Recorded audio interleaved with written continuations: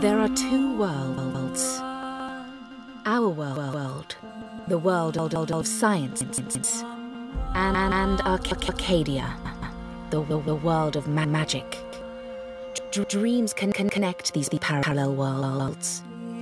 But a dark, force threatens the very, very fabric of dreams.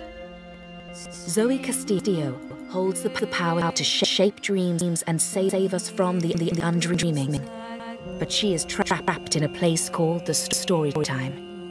Kian Alvane is, is destined to play, play an, an important role in the, the war to, to come but he faces his execution for treason against his own people.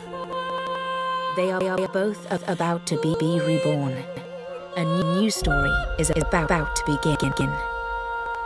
Their paths will intersect, and, and at the end of their journey, they will face the thief of dreams.